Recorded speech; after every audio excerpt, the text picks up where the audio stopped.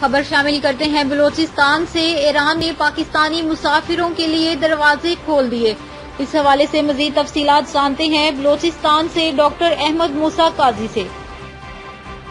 जी, Iran ने corona के बायस गैर मुल्कियों के दाखिले पर पाबंदी में नरमी करते हुए पाकिस्तानी मुसाफिरों और जायरीन के लिए अपने दरवाजे खोल दिए हैं। ईरानी वजारत खारजा की जानब से जारी होने वाले नोटिफिकेशन के मुताबिक पाकिस्तानी मुसाफिर और जायरीन अब मशरूत तौर पर ईरान आ सकते हैं। नोटिफिकेशन के मुताबिक ऐसे मुसाफिर और जायरीन जिन्होंने वैक्सीनेशन करवाई है, वो ईरान के सफ़र के लिए अहल होंगे ईरान ने भारत के लिए अभी पाबंदी बरकरार रखी है।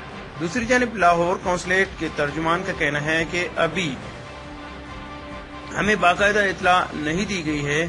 जैसे ही इतला मौसू होगी, वीजों का इजरा शुरू कर दिया जाएगा। Doctor Ahmad Musa Kazi bureau chief Sahara news